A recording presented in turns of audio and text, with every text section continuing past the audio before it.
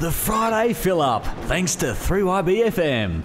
Well, welcome to the Friday fill up, the second week of our show, and we must thank Coastal Wholesalers Brett and Larissa Walther who have jumped on board as sponsors. Jared McLean, Greg Eyes Kelson, welcome boys. And uh, well, Eyes, you're on fire last week, mate. Three winners. Can't do much more than that. Couple there, mate. Right every now and again. and Can't Jared, say the same to me. Well, I'll tell you what though, with the weekend, mate, we know that they're just flying at the moment. Uh, of course, three winners at Caulfield yesterday uh, as well. So uh, all good things happening uh, for the DK Weir camp. We're going to talk all things Caulfield Cup to kick it off. Kingswood Dream, Jared has been uh, the favourite virtually from the start of betting for the 2018 Caulfield Cup. Uh, how is the horse? I, I reckon he's had a faultless preparation. Yeah, correct. He has had a faultless preparation, and since he won the Mornington Cup back in March, he's had the luxury of having the the free ticket, the golden ticket into the Cup. So he's been able to go the traditional Caulfield Cup route, the wait for age path, without the pressure of having to win a race. Uh, it's just been a lovely preparation. He every run he's had, he's improved every time, and he's screaming out for the 2400 now on Saturday, which he gets, and good barrier, good jockey. He's got a lot of ticks in his favour, so I can't wait till Saturday afternoon. Drawn the perfect barrier, hasn't he, Eyes? Well, I reckon that was the last piece of the puzzle. Um, you know, close up behind Winks last time, that was good enough in the Turnbull, and all I was waiting for was to see if he drew a gate, and he's done that now. So uh, yeah, it's he's hard to go past. What about your other two runners? Gaelic Chieftain, of course. Uh, great to see this horse get the opportunity. Uh, I reckon he would have been a fantastic chance in the Geelong Cup next Wednesday. Um, but obviously, uh, you know, it's hard to pass up opportunities like this, isn't it? Yeah, that's right. Obviously, in the final field, he, he's earned his spot there. He's a Warrnambool Cup winner. Uh, you know, arguably whether that form's quite good enough, but it's a big thrill for the owners to have a runner in a Caulfield Cup. And, and always, I'll tell you, it wasn't a bad run behind Oh. uh, the Spruik horse Yucatan uh, last Saturday. I was just thinking he's a blowout chance because he's drawn two. Yeah. Um, he's going to get a lot of favours. Um, and look, he's a hard horse to gauge because he was a big spruik at one stage, has been you know Melbourne Cup type, etc. Yeah. Probably hasn't lived up to that, but he's run some good races throughout his career and beaten some good horses. So I'm just thinking with 52 and a half, Mm. um, Gotta would, chuck him wouldn't be the biggest shock in the world. You're right, though, that's a perfect draw for Dino. You just go back, poke along, save ground where you can, and yeah, there's definitely two of the horse. So if the right one shows up, he could be a fluke of hope. Yeah. Now, what about your other runner, Night's Watch? Uh, a little bit of a query on the distance, but what are your thoughts and what are your feelings? Uh, first try at the trip, it would have been nice for him to draw a gate for Ben Allen, but he's got no option but to go back. And you see the Caulfield Cup, they, they sort of come in two waves. They, they get going early, and you know if, if you're good enough to sustain that gallop from a long way out, you, you're possibly a winning chance. But with this horse, he's just got to be in that second wave, ride and be strong late, and hopefully can run into the money.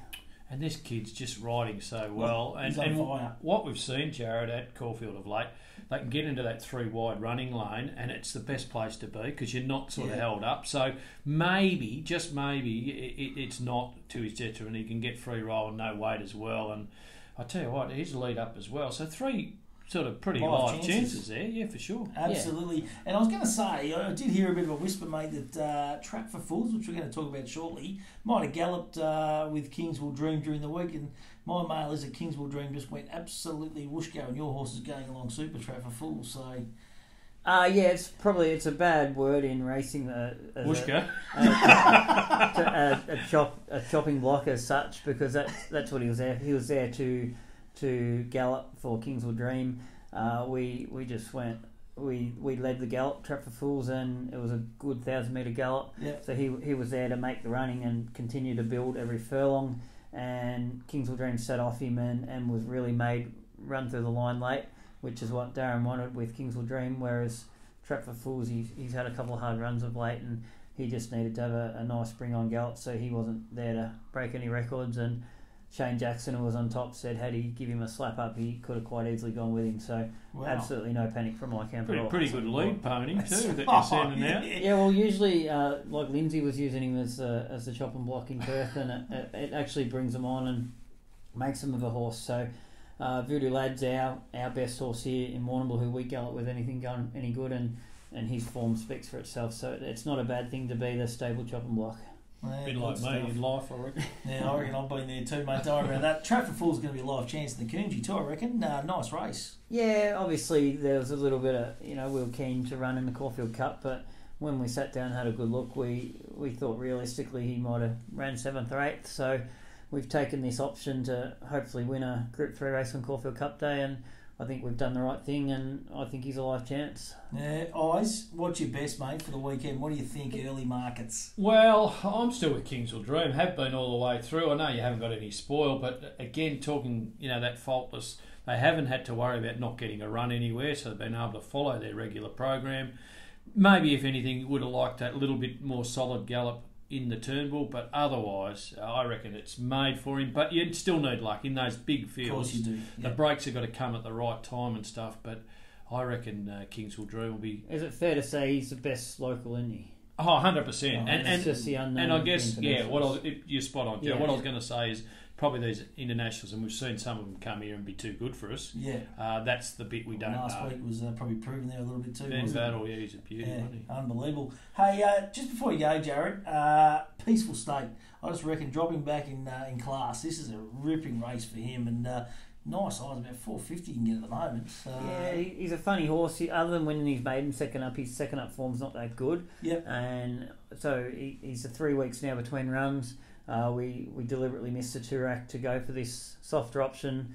Uh, Johnny Allen on, drawn out. He'll be on that three line run, chiming in late, and I thought he was our best chance to win the race on Saturday. And second beaten a half length, land of plenty, first up, and like you said, all you've got to do is forgive the second up run, and he's in his right race for sure. Absolutely. What's your best for the weekend, boys? Uh, I'm going to stick with the Caulfield Cup horse, Kings Will Dream. Been there all the way, and uh, I'm staying there. Yeah, I'm going to stay with him too, and I love Peaceful State. I just reckon that is a uh, unbelievable price, to be honest, for that horse on the weekend. J Mac, your Oh, thoughts? well, I'm cheering for Trap for Fools. Good on you, mate. Nice little paycheck. Hey, listen, we wish you all the best of luck. It's exciting.